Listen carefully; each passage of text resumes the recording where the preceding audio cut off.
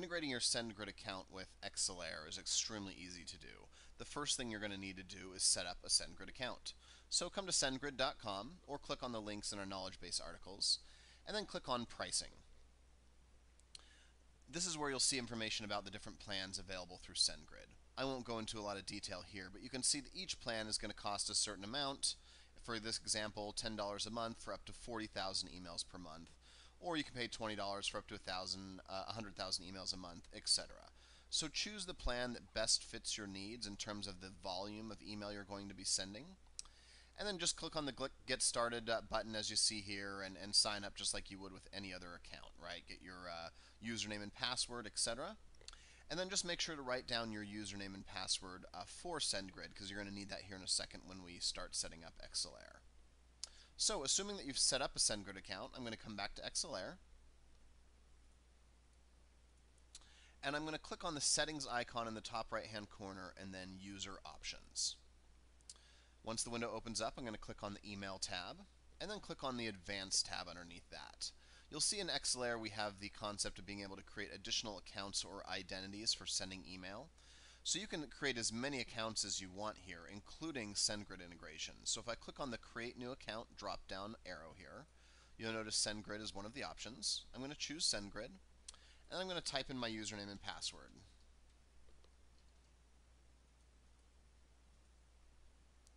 Make sure to grab your username and password. I've got mine saved right here.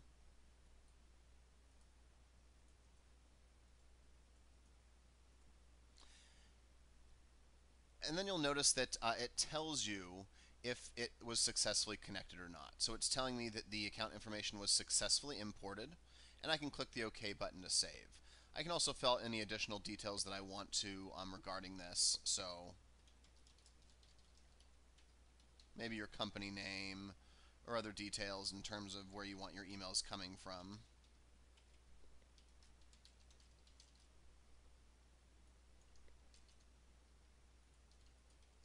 Just type Brian Wilson here. And then simply click OK. As long as it saves without any uh, warning messages, you know that your account has been set up. So that's all you need to do to set up the SendGrid uh, information. Once I hit OK, it's going to bring me back to the main section of Exelare. And just like before, if I want to start sending a single or multiple emails, I can click on the Send Mass Email button. And when I do, the new email window is going to open up. And then I'll just want to make sure to choose my SendGrid account from the From option here. This is where all your different email identities will show up. So depending on how you like to send email, you can have multiple identities, including the SendGrid account. You'll just simply select that, type in your subject, and the body of your email, as you normally would, and then simply hit send. And that's it. We're going to start sending uh, those mass emails using your SendGrid account and honoring those SendGrid limits. Uh, but the fun thing is, is just as before, you're going to see the history show up underneath your candidates or your contacts, just like uh, using a regular sending account inside of Exelare. But you're also going to have the added benefits of being able to log into your SendGrid account. And if you notice here, I'm already logged into mine, so I'm going to go ahead and go to my dashboard. And this is going to give you additional statistics in terms of how you're using email and using your SendGrid account. Looks like I need to log back in here real quick.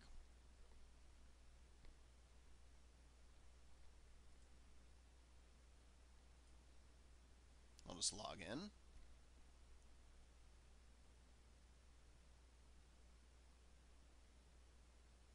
And you'll notice now it's loading my dashboard. So I've been using SendGrid a lot lately to send emails. And this is really great because it tells me a lot of different stuff in terms of um, just what I'm doing with email. How many have actually been delivered to the recipients? How many times have those emails been opened? How many times have people clicked on links inside of my email? If I come to the activity stream here, I'm also going to see lots of cool stuff specifically on the people that I've sent emails to. So has the email been delivered or not? Has it actually been opened or not? Has it bounced? Uh, have people clicked on these emails? You can even filter by these using the options here. Show me just, just people that have clicked, for example, or show me just people that um, have opened the email, for example.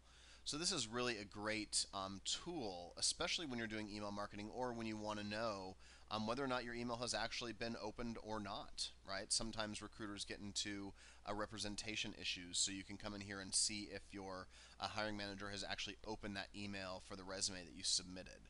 So just kind of a great additional tool to use um, for your email marketing efforts uh, using SendGrid. Uh, we hope you enjoy the integration. Please send an email to support